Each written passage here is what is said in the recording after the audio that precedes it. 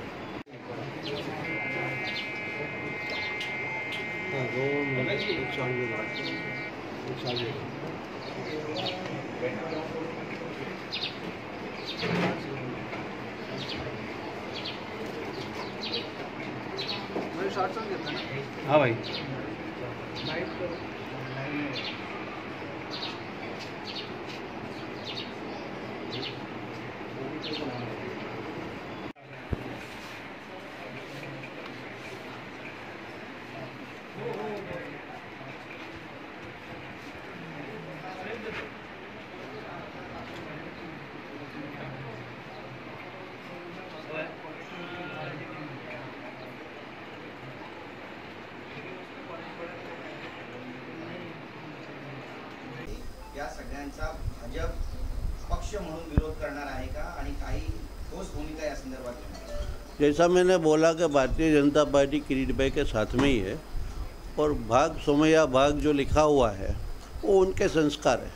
तो मुझे किसी के संस्कार के ऊपर कोई कमेंट नहीं देनी है। वो सब अपनी अपनी समझ के हिसाब से बोल रहे हैं।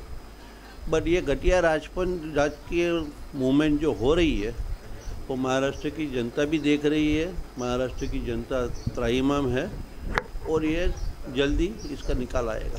किरीट सोमय्यांची जी भ्रष्टाचाराची लढाई चालू आहे त्या संदर्भात महाराष्ट्र प्रदेश भाजप हे त्यांच्या पाठीशी आहे का? वापस बोलो। किरीट सोमय्यांची जी भ्रष्टाचाराची लढाई चालू आहे त्यांच्या पाठीशी महाराष्ट्र प्रदेश आहे का? महाराष्ट्र प्रदेश नहीं पूरा हिंदुस्तान साथ में और ये खाली भारतीय जनता पार्टी किरीट भाई के साथ में नहीं है। भारत देश के जो भी प्रामाणिक लोग हैं, वो सभी लोग किरीट सोमैया के साथ में है। आज कोई आदमी अपनी जान की परवाह किए बिगर वो जो कर रहे हैं, वो कोई राजकीय हेतु नहीं है, ये भारत देश के लिए है, लोगों के लिए हो रहा है।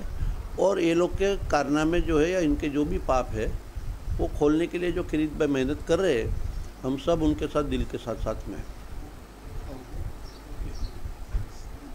आज सोमय्यांच्या घरावर आणि यांच्या घरावर आज दुपारी त्यांची कारवाई झाली आहे. काय प्रतिक्रिया तो कोई मैटर कोर्ट का है तो कोर्ट फैसला लेगा। कोर्ट के बाबत में मैं कोई सूचना नहीं देगा।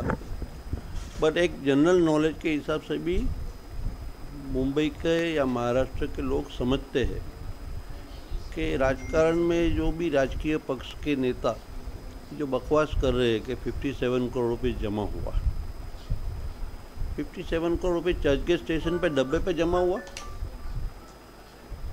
यानी ये आरोप लगाना, प्रत्यारोप लगाना और खुद के पाप को छुपाना, उसके लिए कोई के ऊपर ये केस फ़ाइल करना।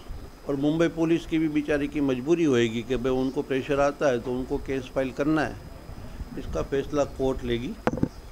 57 करोड़ रुपीस जब ये इन्होंने डिक्लेयर किया कि भाई सत्तावन करोड़ का घोटाला है, वो सुन के ही मुझे हंसना आया था।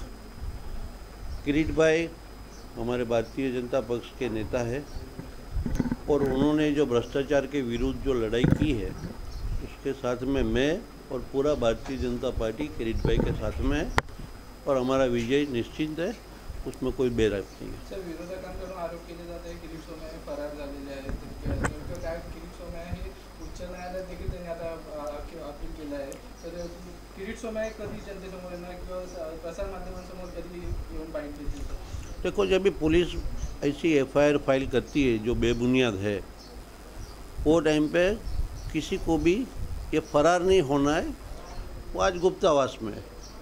आज कोर्ट का फैसला बाकी है, कोर्ट का फैसला आने के बाद, क्योंकि हमें मालूम ही है कि मुंबई पुलिस की एक्शन क्या होने वाली है। गुना है, नहीं है, एक बार अरेस्ट कर देना। और ये जो गुंडागिरी जो महाराष्ट्र में चल रही है, उसके विरुद्ध में हम लोग सब साथ में खड़े हैं और जो किरीट ने जो स्टेप लिया है भारतीय जनता पार्टी उसके साथ में खड़ी है।